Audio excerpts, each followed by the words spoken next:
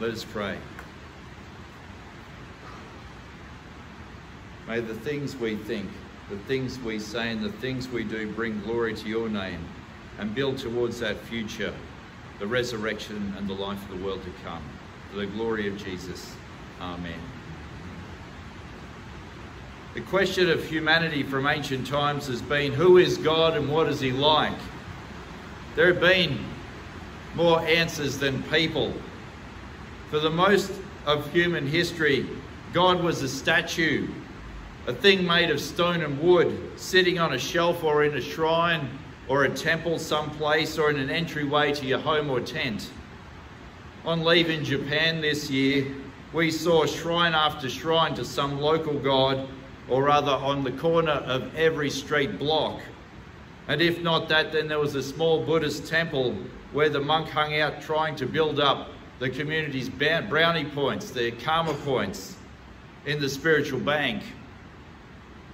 Yet many folks in our society dodge the whole question, the God question, by talking about the universe to explain the good coincidences of this life. The universe must want me to fill in the blank. The universe gave me fill in the blank. As though an inanimate object could do anything.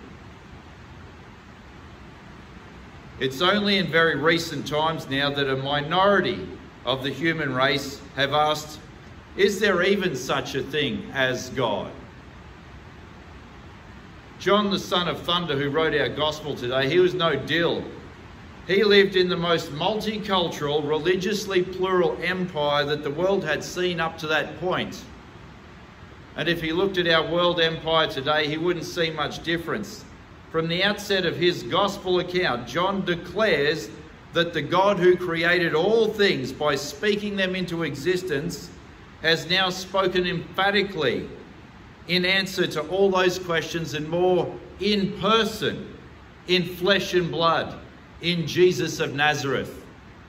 If you want to know exactly who God is, exactly what God's like, and know exactly what God is all about, then there is no other place to look in all of human history or today than to Jesus of Nazareth. John reckons that most people in the world are actually willingly ignorant of him. It's like they've turned out the lights. Even his own people, the Jewish nation, who were primed for his coming by thousands of years of testimony and prophecy, they should have recognized him when he showed up from their ancient texts. Yet they ignored the evidence of their own scriptures and the evidence of their own eyes. Because Jesus did and said things that only God himself could do. Yet the evidence is all there, even today, if you care to look. And in terms of relating to God, neither your ancestry nor your own good deeds can ever put you in sweet with Him. You receive Jesus as a gift or not It's that simple. Because God isn't into doing things in a complicated way. If you are willing to receive Jesus, He is all you will ever need in this life because you are receiving the gift of God Himself. You may well have some pretty amazing presents under that tree at home this year if you're so blessed to have those things. But I tell you, there is nothing compared to what is on offer in the Word made flesh, the light and life of the world, Jesus. When you sum up the news of 2023, and indeed the last few years from the news cycle, some would say that the darkness in this world is all consuming and is in fact in charge of all things. It's winning or it has actually won the day. Even Christians talk to me like they are defeated by the darkness. Yet John writes this account on the other side of Jesus' brutal torture and death on the cross. John writes his gospel account on the other side of Jesus' resurrection from the dead on the third day. John writes his gospel account on the other side of having Jesus breathe his own life and power into him on the day of the resurrection, allowing him to do the things that only Jesus could do, that only God could do, and even greater things. John writes his gospel account on the other side of many of his best mates being tortured and martyred for Jesus, and the fledgling church hanging daily by a thread under society wide Jew- Jewish and then Roman persecution.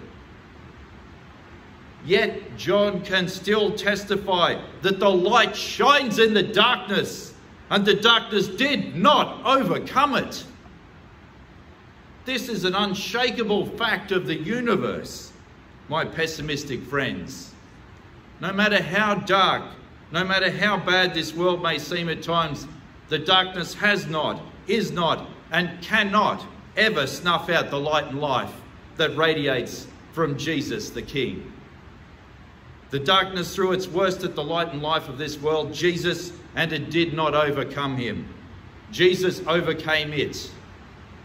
This Christmas, look at the news, look at the world around you in a different light, in the light and grace and truth of Jesus, and be encouraged. Know hope, know the future of the human race and for yourself in the face of Jesus. The word of the Lord declares to you today all who receive me, who believe in my name, I will give power to become God's own children. Amen. Let us pray.